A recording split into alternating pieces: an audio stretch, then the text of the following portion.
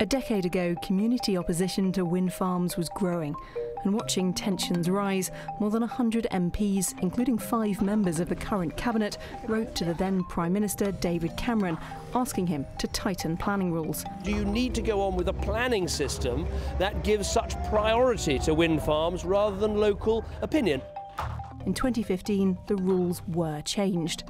Unlike offshore wind, onshore farms in England would only be permitted in areas already identified as suitable in local plans, and the project had to be shown to have community backing. What we saw happen was a significant decrease in submitted planning applications in England. Planning applications are really expensive, so it's like, why would developers risk that amount of money to put in an application that's likely to get refused? In the period uh, 2016 to 2021, only 20 wind turbines in total have been approved. Not 20 wind farms, 20 turbines. Wales and Scotland raced ahead. Today, however, the government's own figures show onshore wind is popular. Not as much as some other renewables, but 78% of people strongly support or support onshore wind developments, compared to 4% opposed. According to YouGov, that's a higher approval rating than beans on toast or the Beatles. But when the question is changed to whether people would be happy for an onshore wind farm to be built in their area, opinions change too. Support in all region falls to between a third and half of the population, and opposition grows. That's why those now proposing that the effective moratorium should be lifted argue that new onshore wind developments should still only happen where communities want them, although how that support would be demonstrated and how much opposition would be accepted isn't totally clear. Just over half of those who'd be unhappy with a local wind farm say they're concerned about the impact on plants and animals. Turbines can kill birds which directly fly into them and displace or disrupt nearby populations in uh, a few sites in North America and some sites in mainland Europe, there have been very large number of numbers of birds killed, sort of tens, maybe even more than that, hundreds in some cases of birds killed each year. Um, but uh, these are quite historic sites.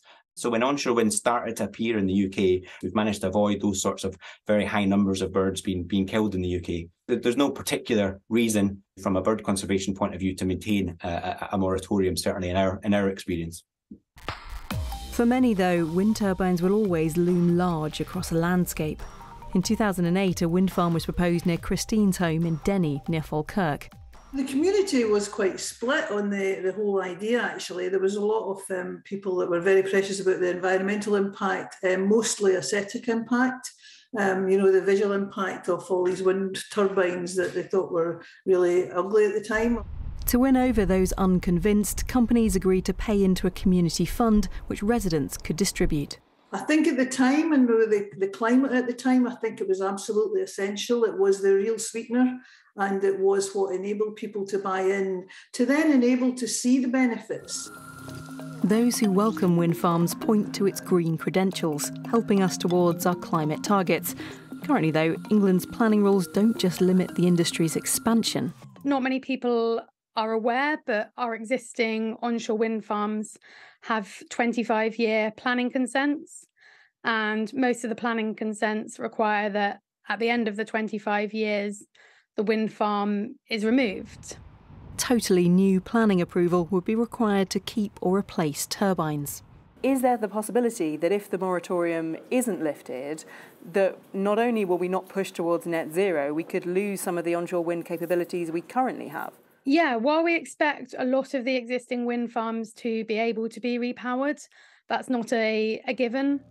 Some sites just won't be suitable for the much larger machines now used. Many communities will always hold objections to wind farms. The current debate will decide whether more are given the choice.